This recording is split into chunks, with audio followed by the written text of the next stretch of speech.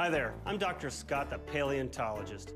This is Yangchuanosaurus, a theropod dinosaur from the Jurassic time period. And here's Zigongosaurus, a long-necked sauropod dinosaur, also from the Jurassic. In addition to when they lived, these dinosaurs share something else, where they lived. Both were found in Asia.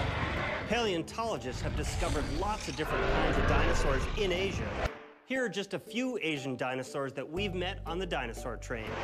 A feathered theropod named Microraptor, a beautiful bird called Confuciusornis, and a frilled ceratopsian called Protoceratops.